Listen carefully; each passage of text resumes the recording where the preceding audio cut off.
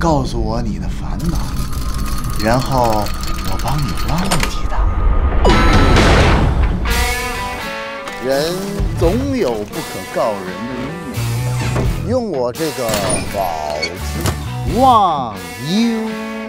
据说这个宝贝能使人忘记忧愁，忘了真好，真的可以让人忘记烦恼。不信，你可以试试。专门帮助别人消除悔恨，还有罪孽感的。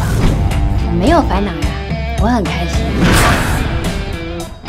消去烦恼的人，就如同一张白纸，你说什么，他就信什么。你是写什么？是饼吧？我才是饼，我才是饼。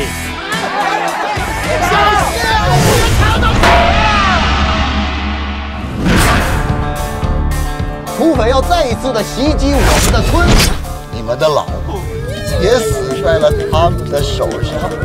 原来我有老婆。你不是挖掘式武功吗？怎么会怕那几个土？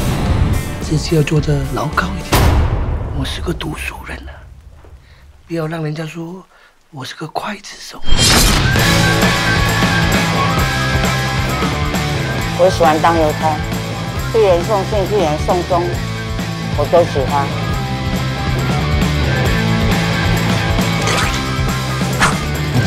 真的有点邪门。你把全村的记忆都消掉了。这骗子！我真的！你娘的！娘写信给你，你娘才写信给你的。